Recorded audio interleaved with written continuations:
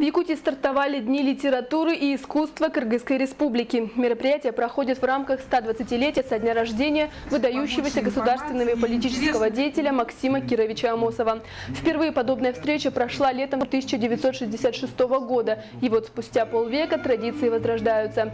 Первым делом кыргызская делегация вместе с руководством республики возложили цветы памятнику одного из основателей государственности Якутии Кыргызстана Максима Амосова. Члены делегации выразили надежду, что такие встречи в будущем станут доброй традицией.